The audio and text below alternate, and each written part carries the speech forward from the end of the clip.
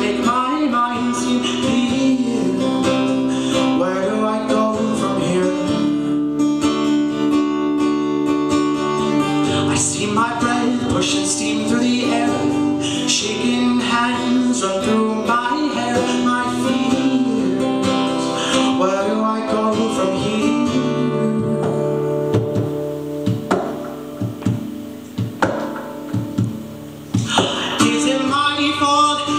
My fault.